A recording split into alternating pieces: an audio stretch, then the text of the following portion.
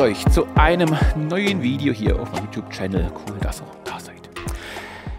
Ergonomie zum Biken oder Ergonomie beim Biken ist immer so ein Thema, was relativ schnell man auch mit anderen Radkumpels oftmals spricht, hinten überfällt und mit so einem kleinen Kommentar abgetan wird, das passt schon. Oder ähm, noch einfach lapidarer. Ich fahre doch eh bloß im Sommer mal vielleicht am Wochenende ein paar Kilometer. Ja, es muss aber auch da Spaß machen. Und wenn ich die gleichen Radlergruppen dann in der Tour ähm, begleitet habe und danach nach 10, 15 Kilometern, das beim E-Bike ja gar nichts sein muss, merke oder höre, auch der Bobbes schmerzt mir oder die, ähm, der Knie, die Knie machen immer ganz so mit oder vielleicht auch ähm, das Thema, es war einfach nicht so schön, weil es einfach nicht so rund gelaufen ist, dann kommt ein bisschen das Thema Ergonomie ins, ins Spiel. Ergonomie Basics. Hier auf dem Kanal natürlich jetzt keine großes Bike-Fitting-Thema. Das soll es auch aktuell so gar nicht werden. So Ergonomie Basics. Wie gehe ich einfach ähm, an die Grundlagen heran? Heute das Thema Sattelstütze und wie hoch muss die sein? Wenn ihr übrigens keine weiteren Folgen passen wollt zum Thema Ergonomie Basics, auch viel neu zugekommene auf dem Kanal, könnt ihr da gerade mal oben oder unten noch ein Abo dalassen und dann verpasst ihr auch keine weiteren Folgen. Thema Sattelstütze und wie hoch muss die sein?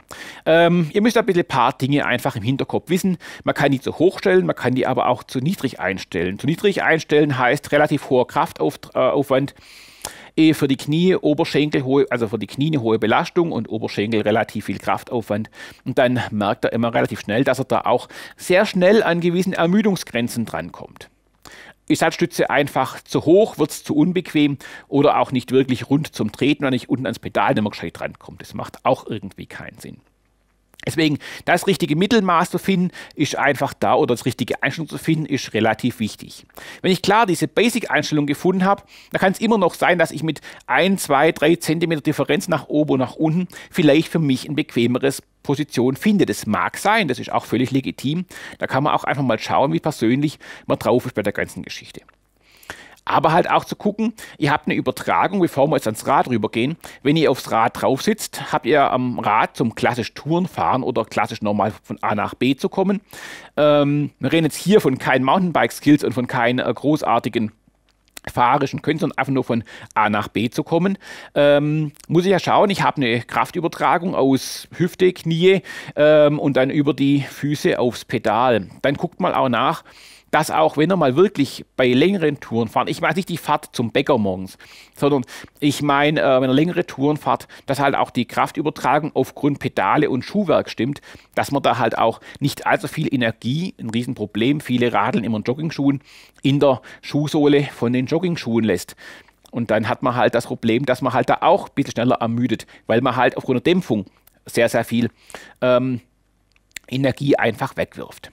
Jetzt gehen wir ans Rad auch mal rüber und dann schauen wir einfach mal nach, wie dementsprechend ähm, ich meinen Sattel auf die richtige Höhe einstelle. Zu Beginn brauchen wir erst einmal einen ganz normalen Fahrradlagerständer, dass ich auch mein Gleichgewicht halten kann, ohne großartig einen Freund, Kumpel, Verwandten äh, zur Hilfe zu nehmen, um mein Rad im Gleichgewicht zu halten. Ähm, macht Sinn, ist eine einfache Lösung und damit kann man dann auch schon mal relativ entspannt das ähm, Rad auch im Gleichgewicht halten. Was wir dann auch noch brauchen, klar, das macht dann irgendwie mal Sinn, ist ein ganz normales Fahrrad, äh, mit dem ihr auch normalerweise unterwegs seid. Klar, logisch, euer Fahrrad halt. Und dann können wir auch schon mal einen kleinen Randfact dazu haben. Hier, ähm, wenn ihr Bock drauf habt, ein bisschen eure Fahrskills zu verbessern, man kann auch in diesen Lagerständern, ist keine Empfehlung, aber ich mache es immer recht gern, auch mal so gerade den Trackstand trainieren, weil hat einen gewissen Halt und man kann auch mal diesen Kipppunkt hinten relativ schön rauskriegen und macht auch Bock, einfach mal sich ein bisschen in den Fahrskills dementsprechend zu verbessern. Kleiner Randfact. Zurück zum Thema Sattelhöhe. Einfach mal den Sattel auf die richtige Höhe rausfahren. Bei einer Variostütze ist klar auf die Oberposition, die muss die Fahrposition sein. Mit der Ferse stellt ihr euch auf das Pedal drauf und jetzt Stopp. Nehmt bitte auch die Schuhe zum Testen, die ihr auch nachher zum Fahren nehmt, damit ihr nicht irgendwie unterschiedliche Höhen in der Ferse habt oder die Dämpfung einfach unterschiedlich ist. Dann nochmal von vorne. Einfach die Sattelhöhe rausfahren auf die Höhe, wie ihr auch im Fahrmodus dementsprechend drin seid. Dann aufs Rad einfach draufsteigen. Mit der Ferse ähm, aufs Pedal hinten drauf gehen, so wie ihr ähm, ja, nicht fahrt, aber vom Einstellen ist einfach so mit der Ferse draufstellen. Und wenn ihr noch auf dem Sattel sitzt und habt eine gerade Hüfte und ihr habt dann, ähm, wenn ihr es normal belastet, ein leicht gebeugtes Knie, dann habt ihr auch die Sattelhöhe auf der richtigen Höhe. Dann habt ihr auch die beste Kraftübertragung und dann passt es auch schon. Und das ist eine relativ einfache Methode zum Schauen, dass meine Sattelhöhe für die Fahrposition ganz einfach soweit stimmt. Es ist doch so relativ gut zu machen. Es ist gar kein großer Aufwand. Man kann sogar alleine hinbekommen. Habt ihr noch einen Freund oder einen Kumpel, dann kann der euch halten, während ihr das Ganze probiert. Das ist genauso auch möglich. Und dann kann man diese ganze Einstellung für die richtige Sattelhöhe einfach vornehmen. Und ihr werdet merken, wenn die stimmt, ist das Radeln deutlich angenehmer, es macht deutlich mehr Spaß und ist deutlich ähm, ermüdungsfreier, weil halt einfach diese ganze Kraftübertragungsstrecken dementsprechend sauber stimmen. Und ich glaube, so als Basic-Thema ähm, kein Fehler hier auf dem Kanal. Ich bin auch mal gespannt. Ich möchte auch noch mal eventuell die eine oder andere weitere Folge machen zum Thema Ergonomie am Bike.